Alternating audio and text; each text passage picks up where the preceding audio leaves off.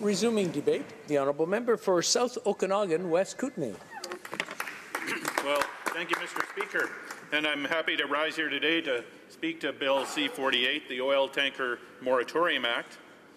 And, you know, a North Coast tanker ban has been a legislative priority of the NDP for many years, and we welcome the fact that the Liberals are finally taking action on this issue. This bill calls for a ban on tanker traffic carrying more than 12,500 metric tons of crude oil uh, on the northwest coast of Canada. It makes exceptions for refined oil products like diesel and gasoline in order for coastal communities to be resupplied. So, right off the top, the bill does nothing to prevent refined oil spills like the Nathan E. Stewart disaster from threatening our coast.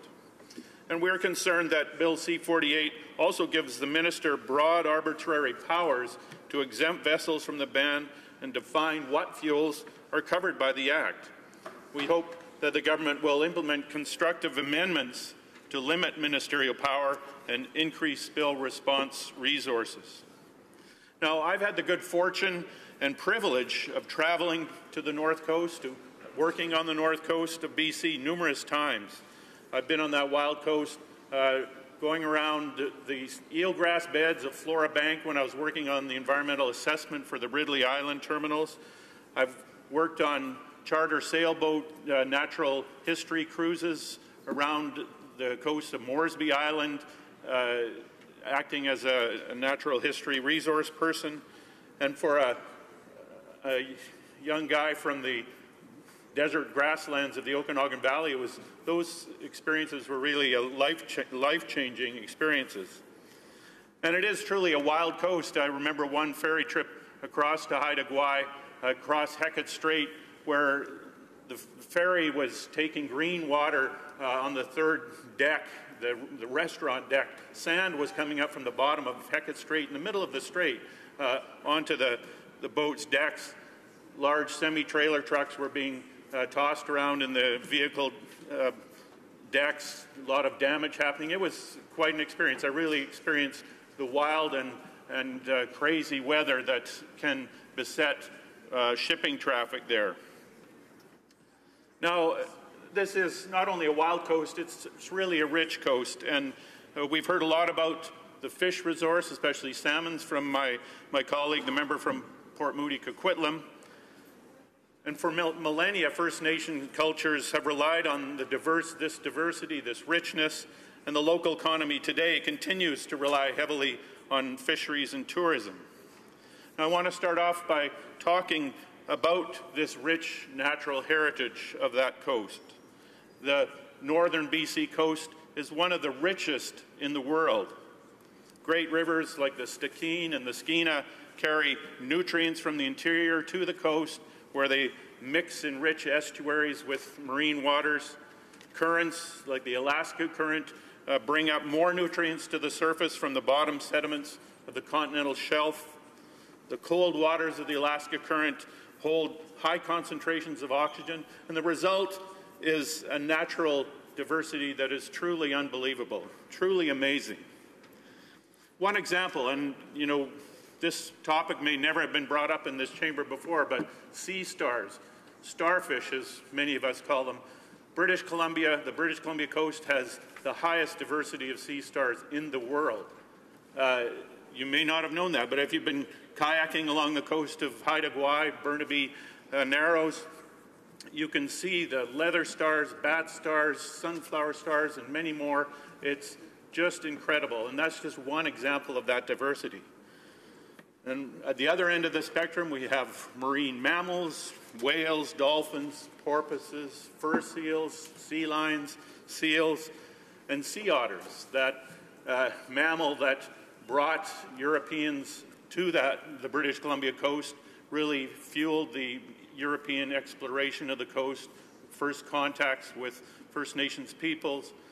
Because of their fine furs, fine furs that cannot withstand a drop of oil or the animal will die because those animals require that fur to be in pristine condition. Now, there's been some, for many years, uh, the whales were uh, harvested off the coast in great numbers. Their numbers declined uh, almost to extirpation and extinction, but there's been some good news stories. The, the humpback whales, the gray whales have really recovered in dramatic fashion, and you can now see uh, hundreds or thousands of them over a season along the coast. And off the uh, west coast of Haida Gwaii, down at Cape St. James and other places, the, the uh, land drops precipitously off into the waters. There's very little continental shelf, and sperm whales come close to the shore. And if you are down at Cape St. James, you look up at the big cliffs that go straight into the water, you see thousands and thousands of seabirds uh, and thousands of uh, common murres and puffins. Another thing about puffins, British Columbia has three species of puffins. The Atlantic coast, only one. I'm looking for some Atlantic MPs, but you only have one on the Atlantic. There's three on the, the Pacific coast, and they're all there in, in British Columbia.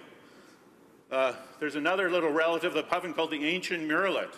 I'm going to go into birds here, Mr. Speaker, and I hope people will find this uh, educational. Uh, the ancient murrelet, half of the world's population breeds on Haida Gwaii, about uh, half a million birds. This is a little seabird that eats crustaceans uh, in, the, in the water, shrimp, and they nest in burrows in the forest, and the young go off into the ocean when they're just tiny little downy things. Again, very, very uh, susceptible to any, any pollution.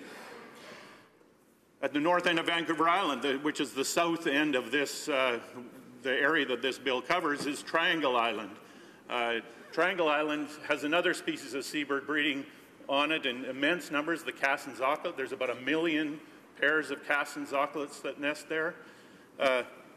Again, these are birds that are just indicators of the richness of what's in the water.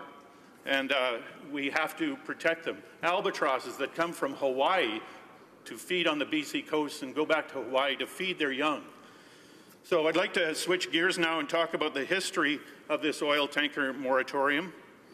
Uh, you know, in the late 60s, there was actually oil drilling going off the BC coast, but in 1969, there was a big blowout at Santa Barbara that sent shockwaves through the industry, and that drilling was stopped.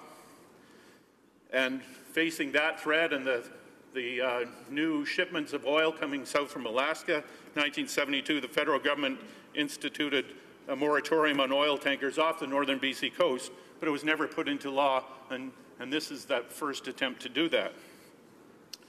Um, plans for drilling rose to the surface again in the 1980s, but two incidents put an end to those plans. One was the Nestucca barge, which collided with its own tug off the coast of Washington just before Christmas in 1988 and spilled about a million liters of bunker C. That oil from the central Washington coast spread north, covered the entire west coast of Vancouver Island, all the way down into Oregon, about a thousand kilometers of coast. And the Nestucca was holding or spilled less than one tenth of the amount of the limit that we're talking about here today in this bill. Not many people have heard of the Nestucca because three months later, the Exxon Valdez went down uh, in southeastern Alaska, spilling 40 million liters of oil. That disaster killed 250,000 seabirds, 2,800 sea otters, 300 seals, 250 eagles. The Alaska coast has never been the same. So you can see why many British Columbians are concerned about repeat, repeated plans for bulk oil transport along the BC coast. The tourism there, industry there is worth more than $780 million a year. Employ, it creates more than 40,000 jobs. And fisheries also a key for the local economy. $100 million uh, worth of uh, input into the economy from that industry.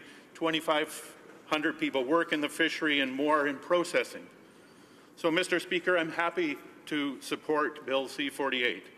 It puts into law a policy that's been in place for almost a half century. The NDP has supported the moratorium through those years, and we, as I mentioned before, we're concerned about several aspects of the legislation.